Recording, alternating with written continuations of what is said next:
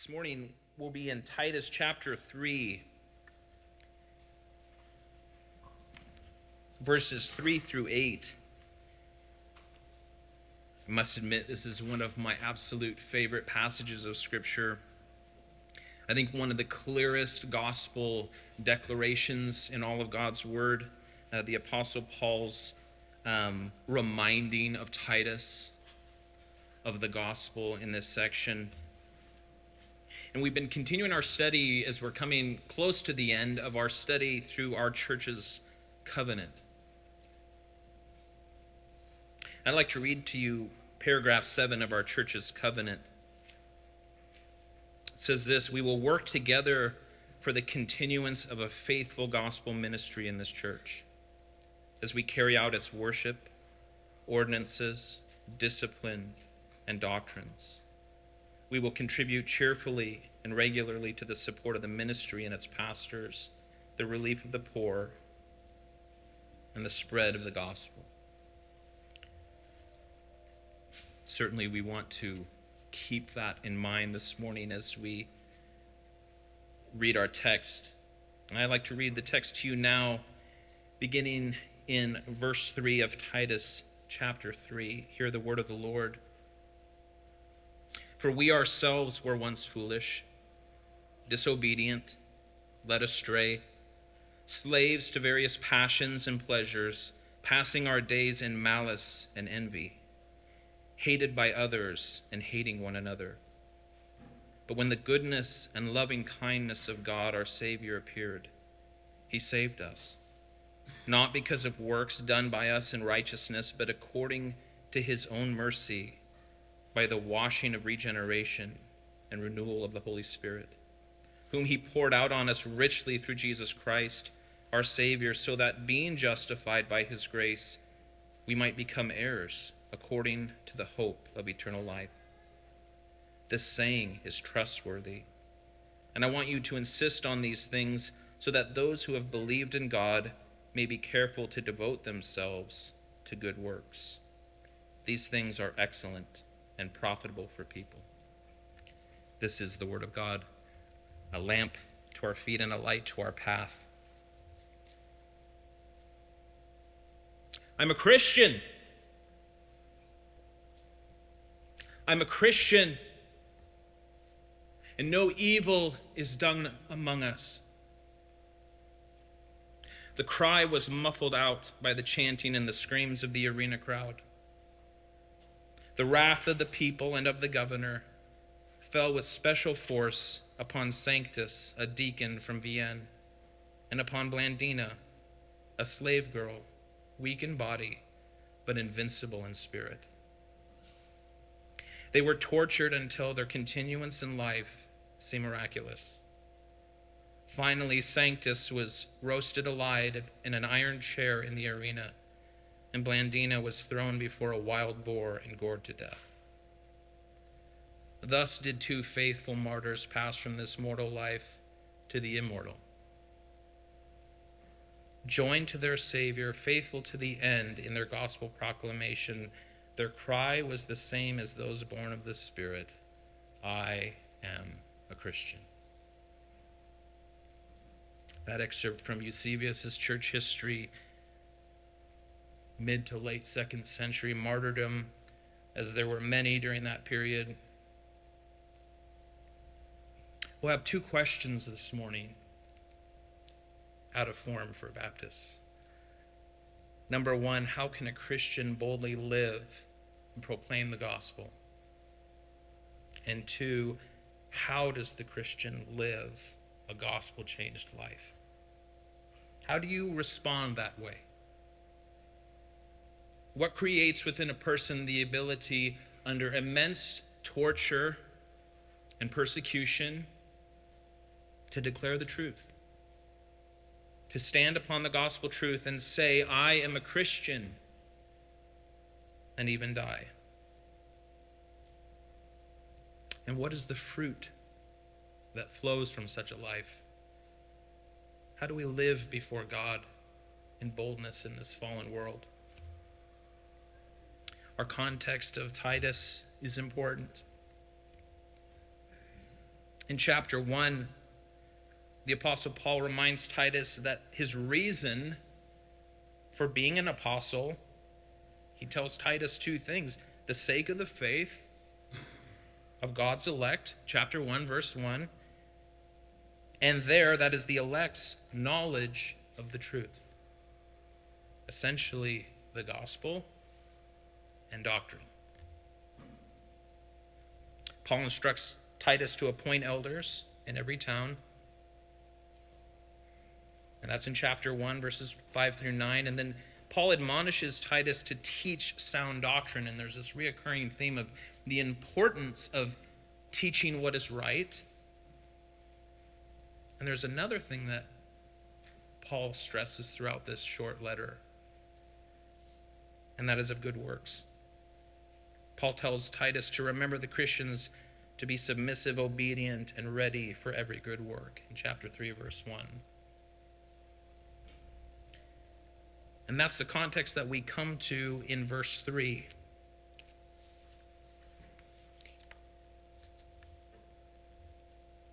Who we were. Verse 3 says, For we ourselves were once foolish, disobedient, led astray slaves to various passions and pleasures, passing our days in malice and envy, hated by others, and hating one another. It was interesting to read these words and and you know it's important that we understand what they mean. And I was a little you know, there'll be times you read and, and there's not too much removal from our usage today, but I want to give you a brief description of what these words in Greek mean. To be foolish is ignoring what is right, purposely seeking that which is wrong. That's why we call our children foolish, because they purposely do that which is wrong. Disobedient, unwilling to believe, disobedient to the gospel.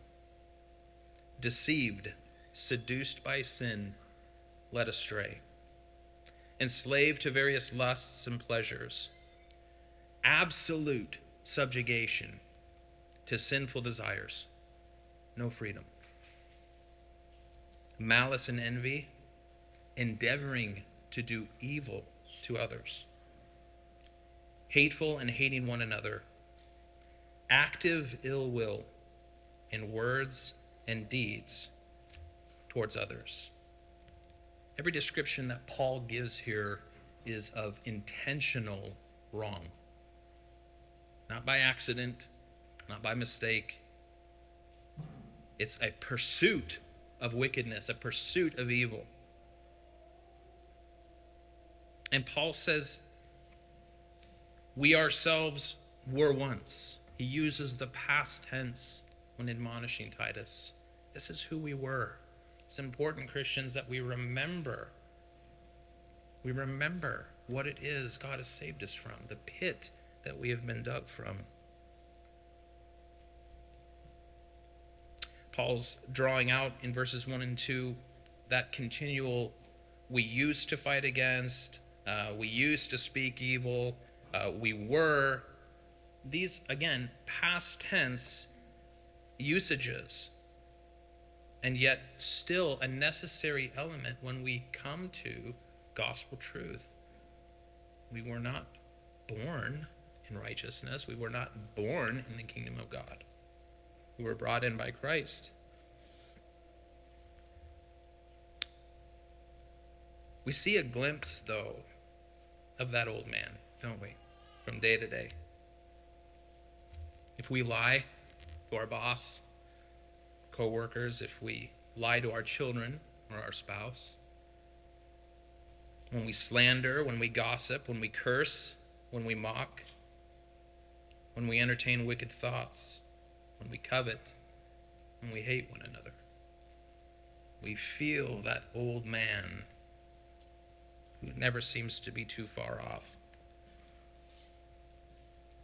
The importance of the gospel truth is magnified when we remember what it is that Christ has saved us from. And there's an urgency in the gospel. Again, as I said earlier, this is one of the most clear gospel presentations in all of the scriptures.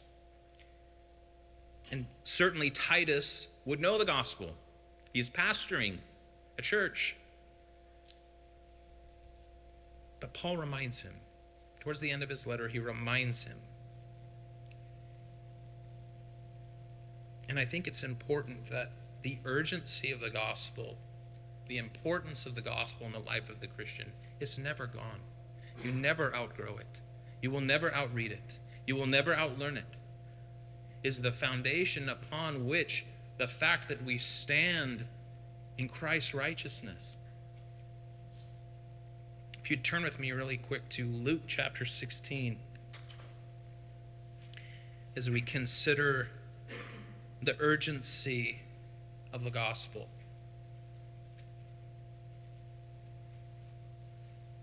In Luke chapter 16, we'll begin reading in verse 19. And Jesus has been giving up to this point a series of, of parables and teachings. And we come to verse 19 in the parable of the rich man and Lazarus. And beginning in verse 19, we read this There was a rich man who was clothed in purple and fine linen, and he feasted sumptuously every day. And at his gate was laid a poor man named Lazarus, covered with sores, who desired to be fed with what fell from the rich man's table. Moreover, even the dogs came and licked his sores. Poor man died and was carried by the angels to Abraham's side. And the rich man also died and was buried. And in Hades, being in torment, he lifted up his eyes and saw Abraham far off and Lazarus at his side. And he called out, Father Abraham, have mercy on me. Send Lazarus to dip the end of his finger in water and cool my tongue, for I am in anguish in this flame. But Abraham said, Child, remember, you in your lifetime received the good things, and Lazarus in like manner bad things. But now he is comforted here, and you are in anguish. And besides all this, between us and you, a great chasm has been fixed, in order that those who would pass from here to you may not be able, and none may cross from there to us. And he said, Then I beg you, Father, send him to my father's house, for I have five brothers, so that he may warn them, lest they come into this place of torment. But Abraham said, they have Moses and the prophets. Let them hear them. And he said, No, Father Abraham, but if someone goes to them from the dead, they will repent. And he said to him, If they do not hear Moses and the prophets, neither will they be convinced if someone should rise from the dead. There's urgency. Who is urgent in this passage? The rich man. The rich man is earnest, urgent. Send, send Lazarus to my family. Warn them not to come to this place. When we consider the urgency of the gospel, I think it is paramount that we remember the truths of Scripture, the reality that we die. We are dying. We will die. That can be lost on us when we're young. Certainly get to be middle aged and realize it's going quickly. And I'm sure as I progress in age, we'll feel much quicker. But the point is that there is an urgency associated with the gospel proclamation not lackadaisical, not secondary, primary. My dad used to tell me Jesus' last commands should be our first priority. And in Matthew 28, Jesus says, Go therefore and make disciples. It's important when we come to the question of the gospel and the role that it is plays in our life both in our conversion and what we declare that there is certainly urgency associated with the gospel. And you might think, listen, I want my unsaved family to come to Christ. I want them to believe. I want my neighbor to come to Christ. But I'm scared. I'm nervous. I, I, I think I have the courage, and then I go to share the gospel with them, and, and I just can't, and I talk about the weather. I want to consider three elements, and this is no by no means exhaustive, but from my own life personally, three things that I have encountered that have hindered my faithfulness to proclaim the gospel. One is boldness the ability to get out of my comfort zone, to engage somebody, and not wait for them to bring up spiritual things, but to actively go and proclaim. In Ephesians 6, again, we don't have our notes, so I would encourage you. Some of these things I'm going to throw out at you. If you are taking notes, write these passages down. And this is one I would write down Ephesians chapter 6, verses 19 through 20. And it says this the Apostle Paul, and also pray for me that words may be given to me in opening my mouth boldly to proclaim the mystery of the gospel, for which I am an ambassador in chains, that I may declare it boldly as I ought to speak. That encourages me.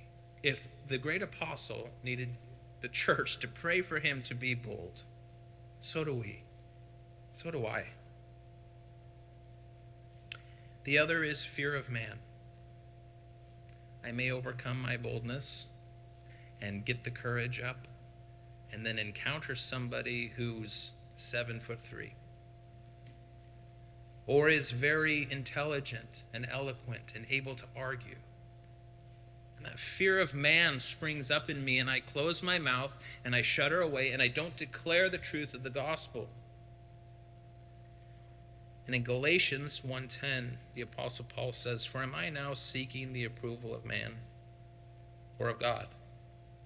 Am I trying to please man? If I were still trying to please man, I would not be a servant of Christ." Fear of man should not hinder us from the urgency of the gospel. And I have been ashamed. I am ashamed to admit to you that I have been ashamed of the gospel. And in Luke 9:26 our Lord says, "For whoever is ashamed of me and of my words, of him the Son of Man will be ashamed when he comes in his glory, in the glory of the Father and the holy angels." And the apostle Paul says in Romans 1:16, "I am not ashamed of the gospel." It is the power of God to salvation to everyone who believes, to the Jew first and also the Greek. And these three things, certainly your mind maybe has already gone there, but one example that comes to mind is Stephen. If you turn to Acts chapter 7 really quick.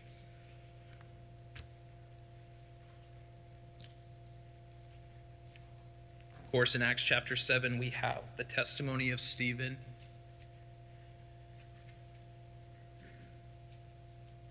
Beginning in verse 54 of chapter 7 of Acts, we read this Now, when they heard these things, they were enraged, and they ground their teeth at him. But he, full of the Holy Spirit, gazed into heaven and saw the glory of God and Jesus standing at the right hand of God. And he said, Behold, I see the heavens opened, and the Son of Man standing at the right hand of God. But they cried out with a loud voice and stopped their ears and rushed together at him. Then they cast him out of the city and stoned him. And the witnesses laid down their garments at the feet of a young man named Saul. And as they were stoning Stephen, he called out, Lord Jesus, receive my spirit. And he, falling to his knees, he cried out with a loud voice, Lord, do not hold this sin against them. And when he had said this, he fell asleep. I don't know if there's a more powerful testimony in Scripture. Certainly, Stephen was bold. He was not exhibiting fear of man, and he was certainly not ashamed of the gospel. And he was killed, martyred for his faith. In Ephesians chapter 2, beginning in verse 4, we read this But God, being rich in mercy, because of the great love with which he loved us, even when we were dead in trespasses, made us alive. Together with Christ, by grace you have been saved. And he raised us up with him and seated us with him in the heavenly places in Christ Jesus, so that in the coming ages he might show the immeasurable riches of his grace and kindness towards us in Christ. I think that's what Stephen had on his mind. It certainly wasn't the temporal, it certainly wasn't now. He was a faithful servant of Christ, and he was bold. Was bold in his gospel proclamation. That's why they stoned him. We can be tempted to come to a passage like this and and forget I certainly can get caught up in a woe is me attitude. Remember what we said at the beginning. Paul says, You were, not now, you were. So we come to verse 4 when the goodness and loving kindness of God our Savior appeared, He saved us, not because of works done by us in righteousness, but according to His own mercy, by the washing of regeneration and the renewal of the Holy Spirit whom he poured out on us richly through Jesus Christ our Savior, so that being justified by his grace, we might become heirs according to the hope of eternal life. It is the goodness and the kindness of God that he saves us. Paul uses the language not of works, and he uses this throughout his letters it's clear in Paul's theology that works play not no role, but certainly the role that works play in the life of the Christian are post salvation. They're not before. And this is a good reminder for all of us because we have a tendency to fall back into that old place, that old way of thinking. Well, if I just show up and set up chairs, if I just go feed the hungry if I just. No. When we are talking about salvation, it is in and only through the blood of Jesus Christ. Amen? And the scriptures speak to this. In Isaiah 64 6, what are our righteousness? What is it? Filthy rags. All of our righteousness is filthy rags. In Jeremiah 17 9, the heart is deceitful above all things and desperately wicked. In Ephesians 2 1, you were dead in trespasses and sins. In Romans 3 10 and 11, none is righteous, no, not one. No one understands, no one seeks for God. This is an essential element when we come to the gospel both in our proclamation and in our remembering, to drive us back to the cross. Paul is then going to come along and, and more, I just want to say really quick, more than normal, a normal exposition, I would take much more time. But I got to be honest with you. You can read much of the scripture, and in particularly, especially this passage, I don't need to say anything. We could read this passage this morning and we know what we were. And we know what we're supposed to do. God's word doesn't need me to draw anything else out. But I say that just that we're dealing with a lot of verses, but I'm going to hit on a couple of particular things. The next one is heirs of eternal life. We were unsaved, We have been brought by Christ into the kingdom of God. Paul ends verse 6 by saying, or excuse me, verse 7, that by saying, uh, justified by his grace, we might become heirs according to the hope of eternal life. And the result, the result of our being born again, the result of the work of Christ's work for us and on our behalf, is that we have been made heirs that is, we will have an inheritance, something that we are waiting for. In John chapter 10, verse 28, Jesus says, I give them eternal life, and they will never perish, and no one will snatch them out of my hand. In 1 John 5, verse 11, it says, And this is the testimony that God gave us eternal life, and this life is in his Son. And in 2 Corinthians 5:1, for we know that if the tent, that is our earthly home, is destroyed, we have a building from God, a house not made with hands, eternal in the heavens. Why is this important? I think honestly, the end of verse 7 is the key to the boldness we were talking about, the faithfulness in the gospel. It can't be understated the significance that this represents for us.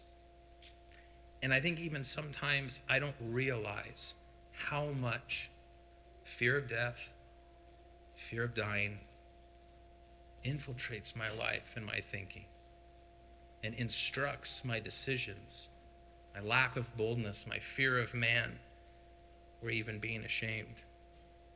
Fear of losing a job. If I don't have a job, I don't make money. If I don't make money, I can't pay rent. I can't buy food. If I can't have food, oh, let's not even talk about that. Fear of poor health. If I have poor health, I'll get sicker. If I get more sick, I'm going to die. Yep. We don't realize how much the fear of dying infiltrates our life. Maybe you do. I do not. It seems to stare at me from every angle, from every choice, from every decision. Yet we read in 1 Corinthians chapter 15, beginning in verse 54, the Apostle Paul says, Death is swallowed up in victory. O death, where is your victory? O death, where is your sting? The sting of death is sin, and the power of sin is the law. But thanks be to God who gives us the victory through Jesus Christ. Amen. Amen. That's the gospel. That is the good news. Death is swallowed up in the victory of Christ. How can Stephen embrace martyrdom? How do the apostles endure alienation from their nation, from their family, from their friends, be tortured, lose everything here, and proclaim Christ in boldness? Because their life isn't here. Their eyes are fixed on the inheritance, eternal life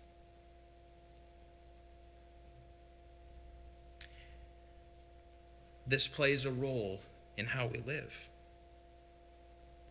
It's important that we consider, too, briefly, the things that flow out of gospel conversion. We've been born again. As we saw, we were once those things. We are now in Christ. And I don't think by chance our church covenant has the language of worship, ordinances, discipline, and doctrine. When we consider worship in the life of the Christian, Think about this passage, John chapter 4, verses 23 through 24. Jesus says, The hour is coming and now is now here when the true worshipers will worship the Father in spirit and truth. For the Father is seeking such people to worship him. God is spirit, and those who worship him must worship in spirit and truth. Who worships God rightly?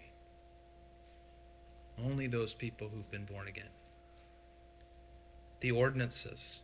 Pastor David shared wonderfully from Romans 6, our last Lord's Day gathering.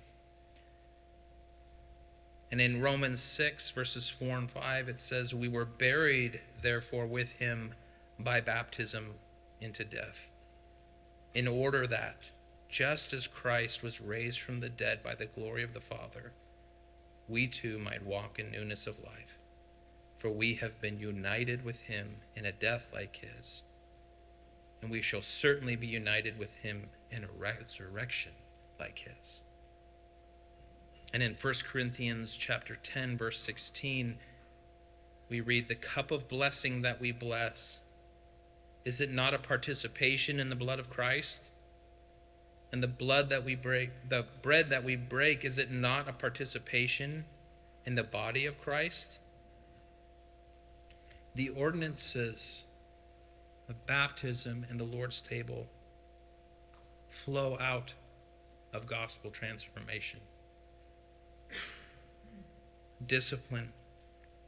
In 1 Corinthians 5 11 and 12, we read, But now I am writing to you not to associate with anyone who bears the name of brother if he is guilty of sexual immorality or greed or is an idolater, a reviler, a drunkard, a swindler, not even to eat with such a one. For what have I to do with judging outsiders? Is it not those inside the church whom you are to judge? God judges those outside the church. Purge the evil from among you. The role of discipline in the church only exists in the church. And doctrine. In John chapter 5, verse 39, you search the scriptures because you think that in them you have eternal life, and it is they that bear witness of me. Worship, the ordinance says, discipline, doctrine. These things exist only in the sphere of the people of God. They have no place outside. They're only right through the gospel. And so as we've considered our first point, boldness, how do we how do we live boldly? If I could leave you with one thing, it's the end of verse 7. Keep your eyes fixed as an heir of eternal life. You will not be here for very long. It seems like only a few weeks ago we were first coming into this space when my family came, and that was in August of 2019 time goes by very quickly. And as we've considered the urgency of the gospel is essential. Keep your eyes fixed on eternal life, life with Christ. And the second thing I wanted to consider this morning, and we may hit that three hours, is how do we live how does that work itself out in the light of the gospel? What do we do? It's interesting that if you read through Titus, and I encourage you to, to if time allows us, Lord's Day, just sit down and read through these three short chapters of Titus. And one thing that's going to pop up over and over again is the language of good works. In chapter 1, we're there. We're in Titus 3. Turn one page. You'll be right there. In chapter 1, verse 16, we read, They profess to know God. He's speaking of false teachers. They profess to know God, but they deny him by their works. They are detestable, disobedient, unfit for every good work. So that's the false teachers, the false proclaimers. But Paul is going to go on at least five more times to reference good works. In chapter 2, verse 7, he says, Show yourself in all respects to be a model of good works, and in your teaching, show integrity and dignity. That's his admonition to Titus. Be a model of good works. In verse 14, who gave himself up for us to redeem us from all lawlessness and to purify for himself a people for his own possession who are zealous for good works. In 3 1, remind them to be submissive to rulers and authorities, to be obedient, to be ready for every good work. And down in verse 8 of our text this morning, this saying is trustworthy, and I want you to insist on these things so that those who have believed in God may be careful to devote themselves to good works. And lastly, in verse 14, and let our people learn to devote themselves to good works. Do you see this theme playing itself out?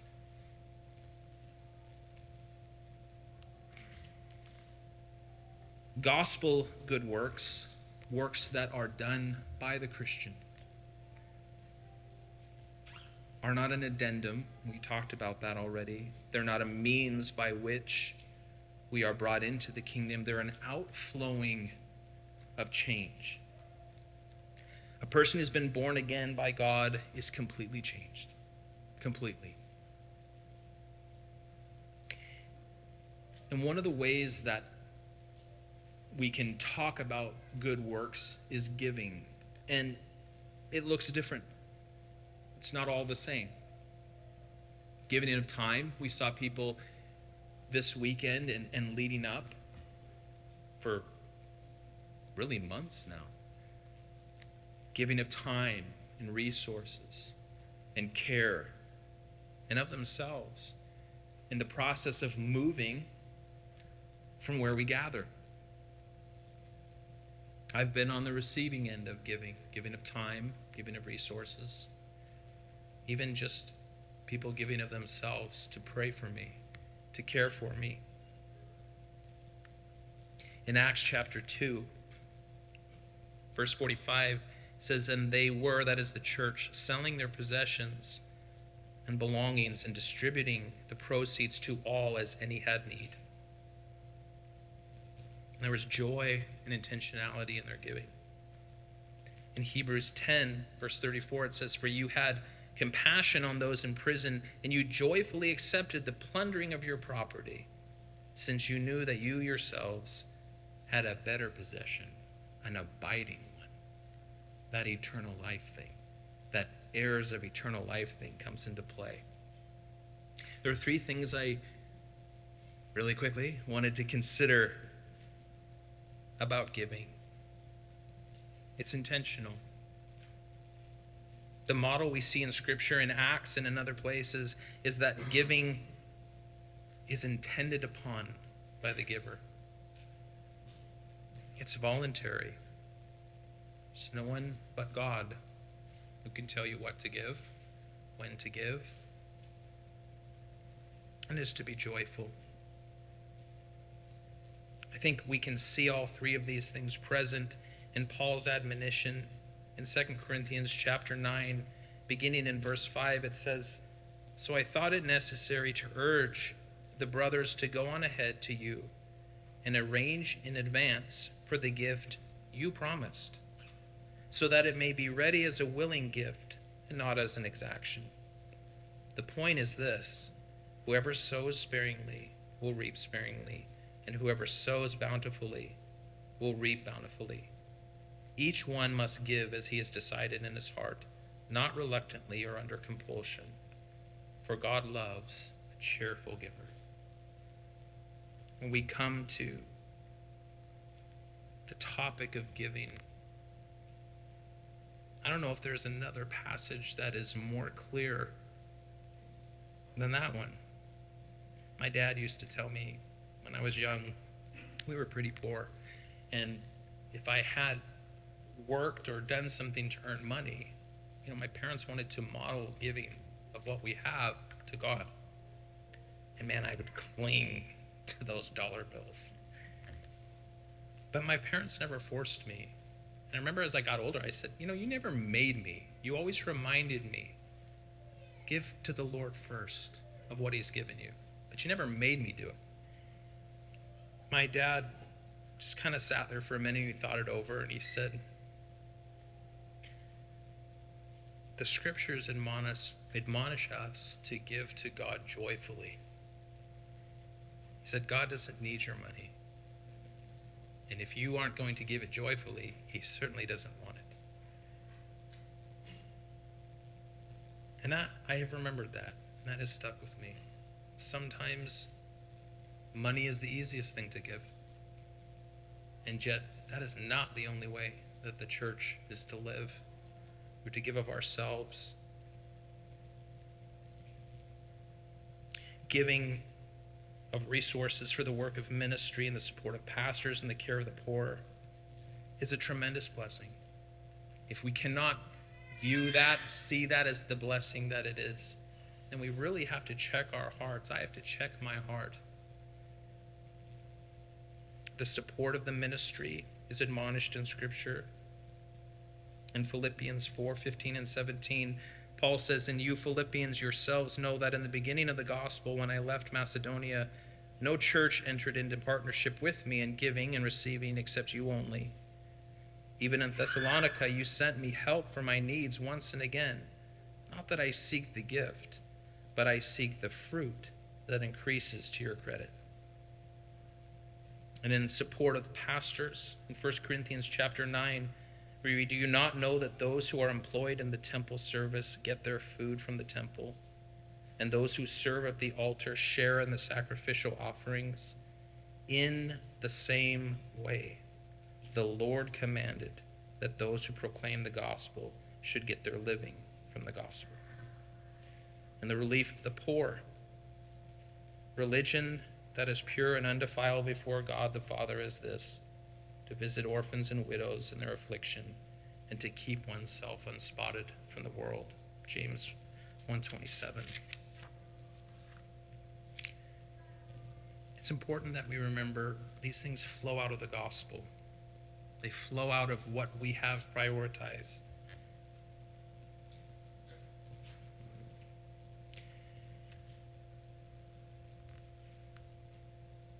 I have too many notes this morning.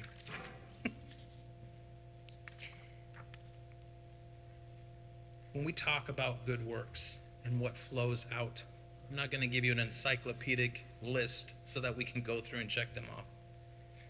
But I would like to encourage you that even as I was reading through back through our church covenant, if you read the covenant statements for our church, one, we will work and pray for the unity of the Spirit and the bond of peace. And two, we will walk in love, care, and watchfulness, admonishing as needs be. And three, not forsaking the gathering of God's people. And four, discipleship, modeling gospel faithfulness. Five, rejoicing and grieving. And six, guarding our witness and living in holiness before God. Seven, gospel proclamation and faithful care for the church. And eight, continuing in the Christian life wherever we are in faithful obedience to God.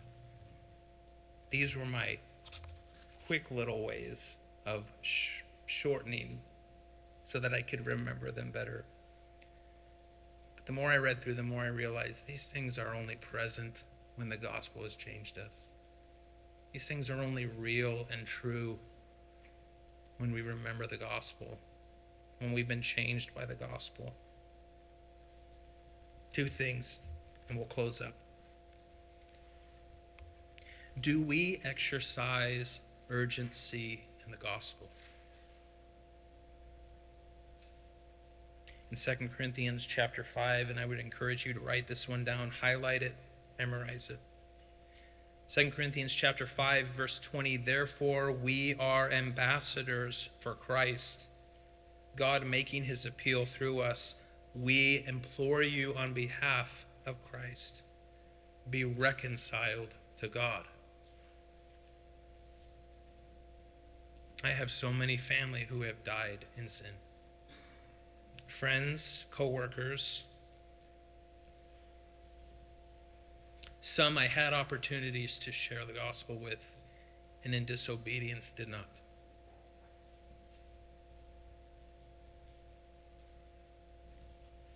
But I want to continue the rest of my time in this life in boldness, unashamed, with my eyes fixed on eternal life. So let me encourage you from my from a place of failure to be bold and remember the urgency of the gospel. And the second thing I'd like to leave you with this morning is are we living as heirs of eternal life?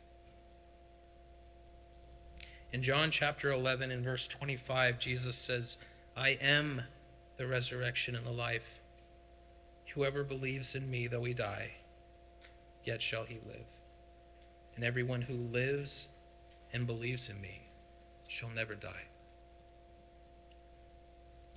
Good works in the Christian life cost us something.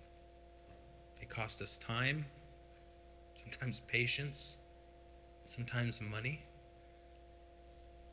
But good works, as the scriptures admonish us to do,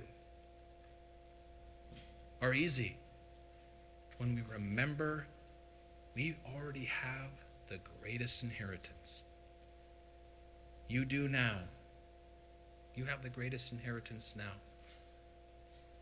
eternal life. You can't buy it. You can't trade for it. You won't find it on eBay. If we can remember the urgency of the gospel, if we can remember our citizenship, the inheritance awaiting us, in truth, it manifests in real ways. That in torture, you endure. That in want, you rejoice. And as we see one another in need, it is followed with good works. Let's pray.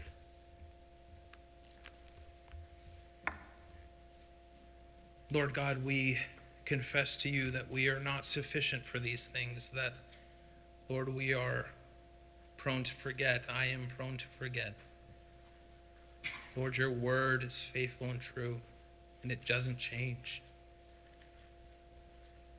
Lord, even as I've been reminded in this study of the urgency of the gospel, Lord, as if you've reminded me of the inheritance of much more value than anything I could ever attain on my own. Lord, as we're reminded of these things, we ask that you would Lord, grant us by your Spirit to walk in your Spirit and do these things. Lord, embolden us, remind us, remind us of your goodness. God, we thank you and we praise you in your name. Amen.